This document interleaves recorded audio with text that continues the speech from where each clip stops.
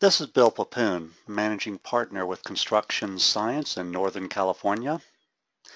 We're an Oracle Gold Partner, which means we are authorized to offer Primavera training, and we also sell Primavera software.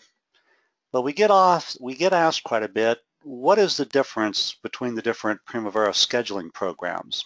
Now, there are a few other programs we're not going to be discussing here, these are the ones that are used primarily for scheduling.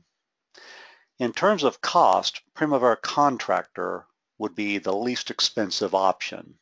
It's nearly one half of what you would pay for P6 Professional. Then we have P6 EPPM, which stands for Enterprise Project Portfolio Management. And this one offers some options where we can log in to the program remotely using any computer. There's no special network involved. You simply go to a URL and you enter the program. So it can be uh, very flexible for organizations that are constantly changing computers because you're not going to physically install any software on individual computers. Instead, with EPPM, all of the software will be installed on a server and then accessed remotely.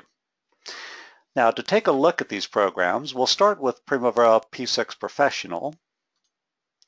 Most people, when they think of Primavera, this is what they had in mind.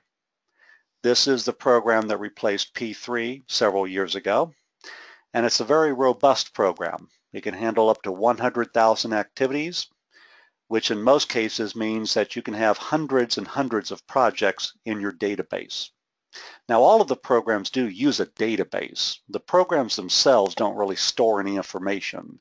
So every time you're installing Primavera software, you're actually installing a database as well. So with this particular version, very flexible, very powerful. It gives you the option to see all the projects you're working on, something that we call the enterprise project structure. And similar to the, what you might do with a Windows computer, you're creating folders to store these different projects. Now, being Primavera, we don't really call it a folder, we call it a node. But a node right here, such as general projects, just a place where I can park some projects to keep track of those separately from others. You might have different nodes for different employees, that sort of thing, because we can share the database with multiple users. Now, the disadvantage of starting off with contractor Contractor doesn't have a view like that. You either have a project open or you just don't have anything open. If you want to open up a different file, about all you're going to see of that other schedule is going to be something like this. You're going to see a list of projects. You'll see some sort of status, and that's about it. That's all you're going to know about these projects. You'd otherwise have to highlight one of these projects, open it up, and see really what it's about. Is this a completed schedule? How many activities are in there? What's the projected budget of this project? That sort of thing. So you're working a little bit blind on the front end because you don't have an easy way of organizing these files. All of the files are just in basically one big folder. So if you do have hundreds of projects or hundreds of updates, then it can become very difficult to keep track of things. Because in P6 Professional, we would certainly be able to create as many nodes as we need to to keep track of those different projects. Now, the enterprise version, EPPM, looks a little bit different. Mm, we don't teach these programs side by side. It's good to learn one of them before you try to learn another. So when you go with the web client, as we call it, you have this other option called a dashboard. And the dashboard consists of several different portlets. For example, right here, this resource analysis chart, that's a portlet.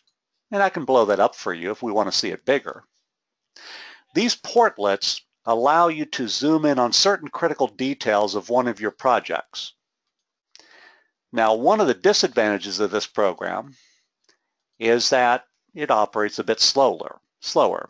You're working through the internet, so it does depend on your browser speed. And uh, for someone who's used to the instantaneous response of P6 Professional, this can be sometimes a little bit frustrating. A few years ago, we were helping a major company upgrade their software, And in their own personal instruction manual, they had one instruction that said, click on the resources tab, this one right here, which would show you a list of all the resources that are available to the organization, and then go get a cup of coffee.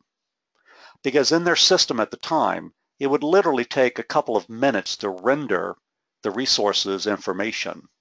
So because you are working through the internet, you do have to understand that it depends on the speed of your equipment, your server, and it's certainly influenced by your internet uh, connection. So if you have a slow internet connection at home, it could be a little bit of a challenge to log into the Office system. Otherwise, though, you have this great flexibility that I can go anywhere in the world, hop on a computer, and if they have internet access, I just type in the URL, I go to the welcome page for EPPM, and I'm in the program. It might be a little bit slow, but then again, I didn't have to take my computer with me at all.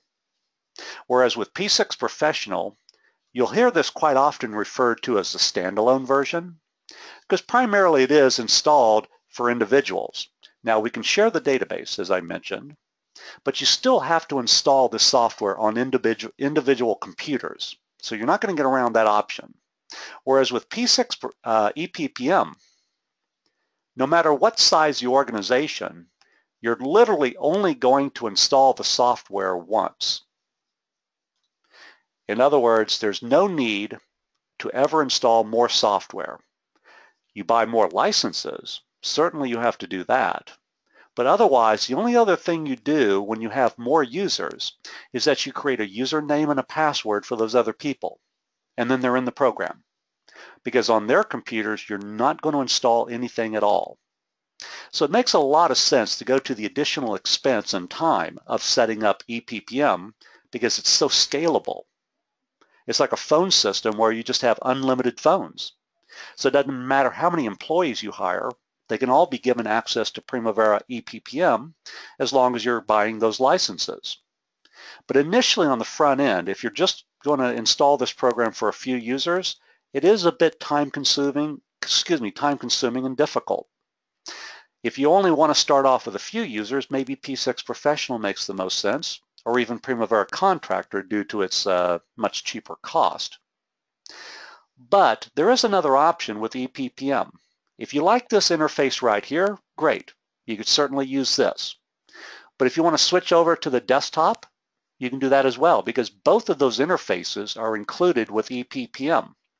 So it gives you the ability to get all of that instantaneous speed that you're used to with your own desktop of just going into different windows and things pop up immediately. But you're still connecting to the same database that you connect with this one over here. Now again, you almost have to learn the programs separately because all of the menus are slightly different, the capabilities are different, but otherwise, if you fall in love with this interface, fine, use that one. But if it, in other situations you need the more um, powerful version here, P6 Professional, do that as well. You can go back and forth as much as you want because both of those interfaces are included with each license.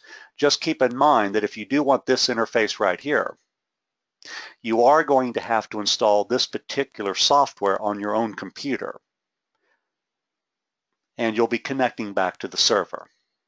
Now, I guess this really comes back to what is the role of Primavera Contractor? Well, this is a program that for the most part has had frozen development for several years. It's compatible with 32-bit and 64-bit machines. It'll run on Windows 8. We have not personally tested it on Windows 10 yet to see if it'll work. And the files can be exchanged with P6 Professional and EPPM. So you're in the same family and you're working with the basically the same type of software.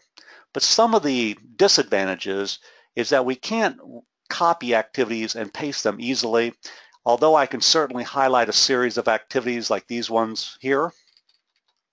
When I go to paste them, I won't have an easy way of controlling the new activity ID. I'll have to go in and change it manually. Most of us call that a fragment.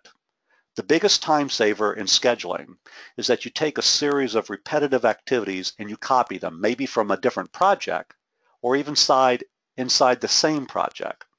When I'm in P6 Professional, That's an easy thing to do. I just go in there and I highlight a series of activities and I tell Primavera I want to copy them. And that part's just like Contractor, but when I go to paste it, I have the option of, well, number one, deciding if I want to copy the logic, and that would be just like Contractor. But then I have this option, one way or the other, of telling Primavera automatically to renumber these new activities. And in some cases, I'm copying a string of more than 100 activities. So being able to tell Primavera to renumber these new activities with, say, a different prefix or even a different suffix saves me a huge amount of time. We can still copy and paste with Contractor, but we wouldn't have this option right here. That's something you're going to lose immediately. In many respects, that's almost a deal breaker for me because I spend so much time copying existing activities and reusing them. I develop fragments, things like elevator sequence. So the next high rise I'm working on, I've actually got this string of activities that represents a typical elevator sequence. And I'm going to copy that over to my new project and give it some new IDs to align with that new project. So not being able to automatically renumber my activities the way I'd like to do it can be a bit difficult. Also, we can't open up more than one project at a time when you're using Contractor. So you work on one project, you close it. You open up a different one, you close it.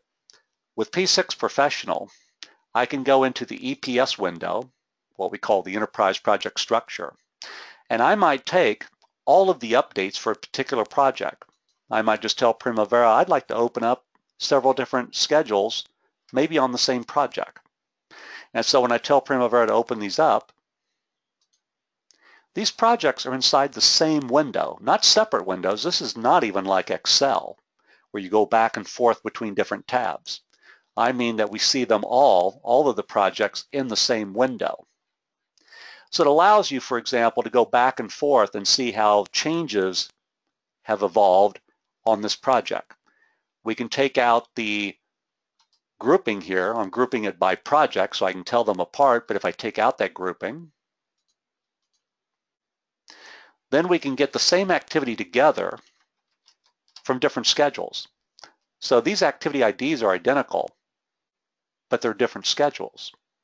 It would allow you to go in there and see how maybe you've made changes to this activity over several months. In one case, I opened up 18 updates to see how a critical milestone had evolved during a year and a half process. I'm just looking at 18 activities, the same milestone in all 18 updates. Great for analyzing projects that are having issues. But with Contractor, I'd be opening up one file at a time, taking a look at it, maybe taking some notes, and then opening up the next one to look at the same type of information. Now the other thing too is because we have this EPS view for this one, I have a lot of critical information I like to see on the main screen. I want to know how many activities have started, how many are completed, how many remain. I might want to know even the budgets for each project or um, how many man hours are in there, things like that. But I can't get a sense of any of that when I'm working with Contractor because with Contractor, I simply go into this view where I say File Open.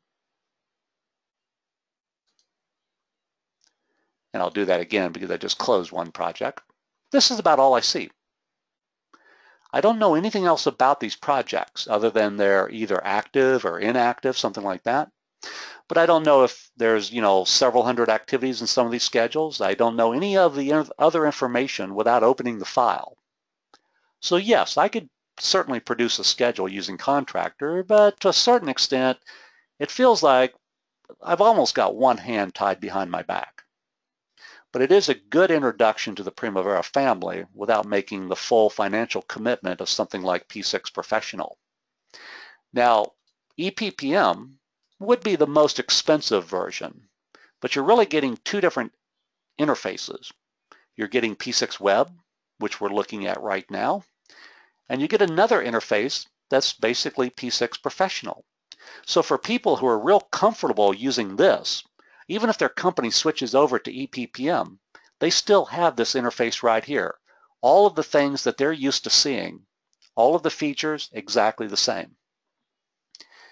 But otherwise, When they don't have access to their own computer that has P6 on it, they can still log in to the program using the web interface from any computer that has internet access.